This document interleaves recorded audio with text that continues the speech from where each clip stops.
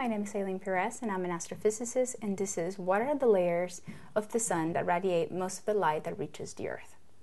So the, the sun has a pretty complicated structure. I will try to uh, kind of summarize it a little bit. Here we have the core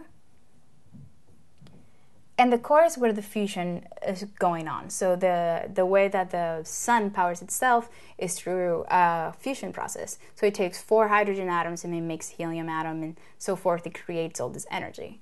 So the core has the fusion process going and is about 27 million degrees Fahrenheit. So it's really hot. It is hotter than anything that you can possibly imagine or recreate here on Earth.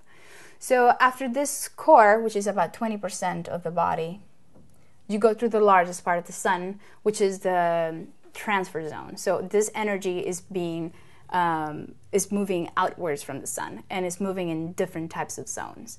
The first zone is the radiation zone. So it uses radiative uh, transfer, so that just the energy just radiates out and this is the radiation zone. And the temperature actually drops to about 7 million degrees Fahrenheit. Actually, the radiation zone and the, uh, the zone after it is really what produces a lot of the pressure that makes the core so hot. So the next uh, zone is convective zone.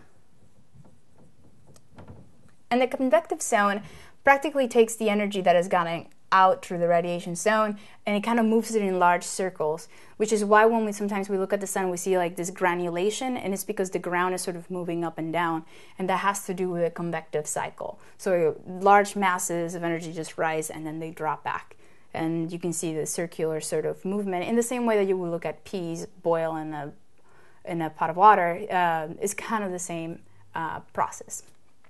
And then after that we have the photosphere and the photosphere is the layer that you're thinking of. So the photosphere is when the sun becomes goes from being opaque to being transparent. So this is where visible light is actually emitted.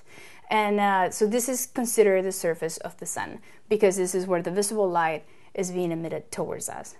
And this is kind of the visible part of the sun, so therefore we call that the surface.